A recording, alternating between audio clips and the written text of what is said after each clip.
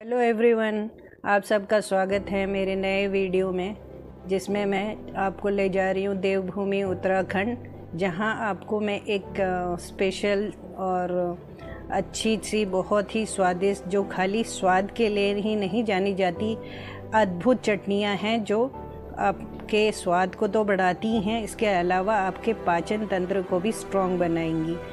उसमें बहुत सारी चटनियाँ हैं, शायद आपने सुनी भी नहीं होंगी, पर मेरे इस वीडियो के माध्यम से आपको पता चल जाएगा कि वो कितनी टेस्टी हैं और कैसे बनाई जाती हैं। उनके प्रोसीजर मैं आपको एक एक करके उनकी रेसिपी बताऊँगी।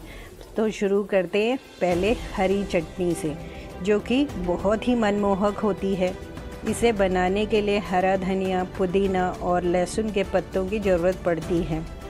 इसमें अदरक भी मिला सकते हैं आप, और जो स्वाद को एनहेंस करेगा, इन्हें धोकर अच्छे से सिलबट्टे में पीस लें। मिक्सी का बिल्कुल यूज़ ना करें, क्योंकि मिक्सी से पीसने से उस, वो इतना उनका टेक्सचर अच्छा नहीं आता।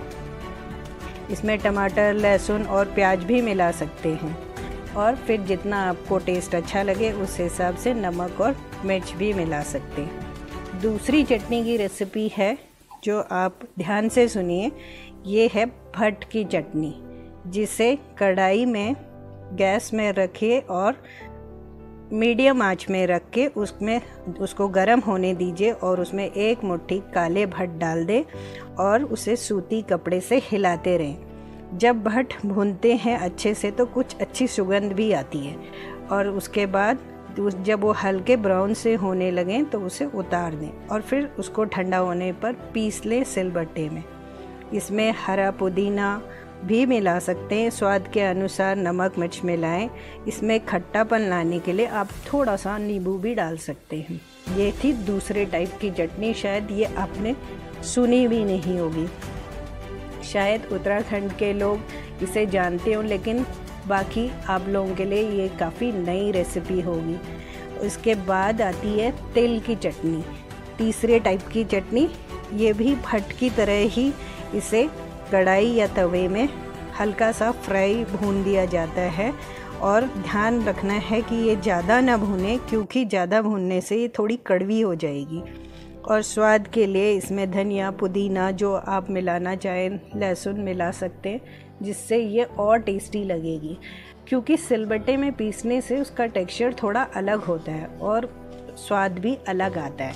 इसलिए हरी चटनी तो वैसे सभी जानते हैं और पूरे इंडिया में सभी लोग बनाते हैं।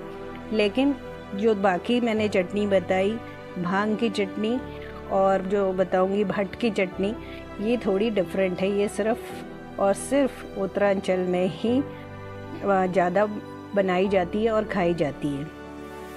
इसके बाद आती है भंग जीर की चटनी। इसमें ये तिलहन प्रजाति का है असल में। इसकी चटनी जब ये बनाई जाती है तो ये देखने में नारियल जैसी लगती है कि नारियल की चटनी साउथ इंडियन की है नारियल चटनी। लेकिन इसे बनाना थोड़ा सा डिफरेंट है। इसमें हरा धनिया पुदीना और और अन्य पत्ते डालकर चटनी के आ, को बनाया जाता है जिससे कलर थोड़ा अलग हो जाए। तो ये आ, दूसरी चटनियों से थोड़ी सी डिफरेंट है। और जो अब है भाँग की मेन चटनी, जो कि बहुत ही फ़ेमस है उत्तरांचल में। जिसे भाँग को अच्छे से भून लें मीडियम फ्लेम में धीरे धीरे क्योंकि ये चटकने भी लगता है तो ध्यान रखें, सावधानी रखें, आँख में ना जाए। और उसके बाद इसे नमक मिर्च के साथ थोड़ा सा नींबू डालकर पीस लें। इसकी तासीर गर्म होती है, इसलिए इसको कोशिश करें कि सिर्फ़ ठंडी के सीज़न में मतलब विंटर सीज़न में ही खाएँ। गर्मियों में खाना सेफ़ नहीं है। कभी कभार आप फॉर चेंज खा सकते हैं। उसके बाद एक और स्पेशल चटनी है, जिसे कहते हैं चुलू या खुमानी की चटनी, जो कि बहुत ही फ़ेमस है।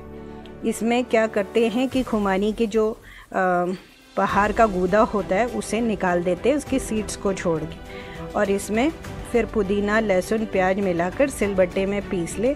नमक, मिर्ची अपने हिसाब से आप आपका टेस्ट के हिसाब से आप मिला सकते हैं। ये एक अलग तरह की चटनी है, जो काफ़ी टेस्टी होती है।